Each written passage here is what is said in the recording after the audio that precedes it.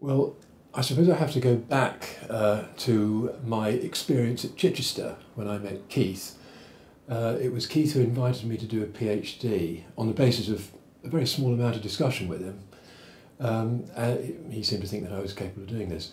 Um, and I read his books, Hayden White's books. Um, I began to understand history, I suppose, or histories as literary artifacts, which is what they are.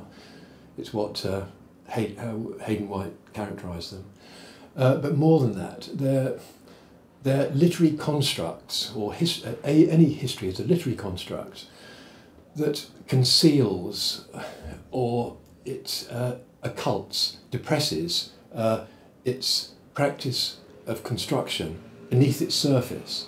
And it's just seemed to me that, I suppose for newcomers to history, particularly for students, that it's quite important to understand what that practice of construction is. Um, and that's where the focus should be. What's going on when a historian makes an epistemic choice to do this or to do that or do the other? Where do those choices come from? What informs them?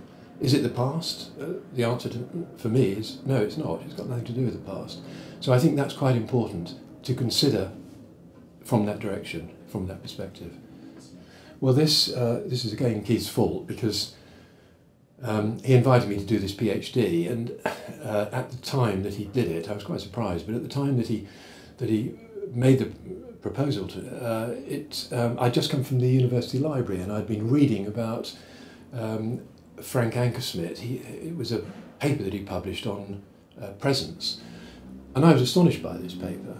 Um, I couldn't understand really how anyone could promote such an argument.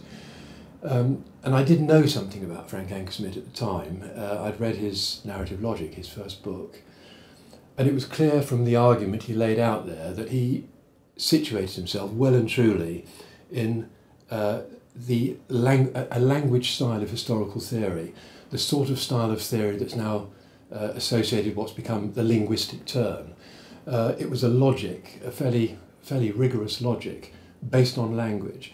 And what I couldn't understand was how the guy could move from that style of theory to a style of theory based on ideas of presence and historical experience, and particularly sublime historical experience as well, which, which incidentally is radically different by his definition than, uh, than historical experience. So it was that chance encounter I had, and just coming from the library having read about him, that interested me in his project in his work. Although at that time I didn't actually know a lot about it, I, it was just peripheral reading. Yes, well, my recent book is my PhD thesis, uh, adjusted somewhat and then it was put out for publication.